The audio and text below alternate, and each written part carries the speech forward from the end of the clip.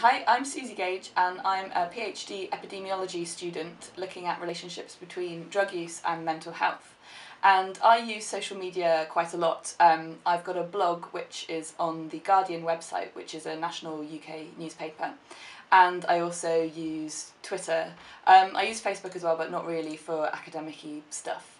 So um, I started my blog originally because I wanted to improve my science writing and also because I um, found that a lot of times I wanted to comment on articles that I'd read or media reports of articles that I'd read and Twitter, while it's great for sort of short snappy things, is not so good for long um, consideration of topics. So I started a blog with a couple of colleagues and um, originally it took me a long time to write blog posts, so I'd spend a whole evening on one, often up until the wee small hours of the night.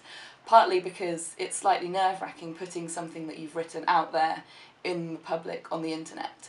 So um, with time and practice, I got a bit better and a bit faster, but I also found it invaluable to send what I'd written to a colleague or someone that I trust to check it over as well. There's absolutely no harm in doing that before you put something up on the internet.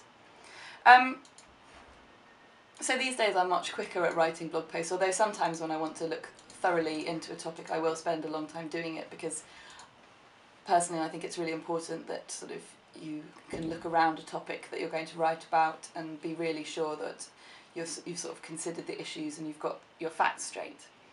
Um, I would also really recommend using Twitter. Um, I don't know if anyone other than my mum would have read my blog if I didn't put it up on Twitter, and there's a great um, community of scientists and science communicators there.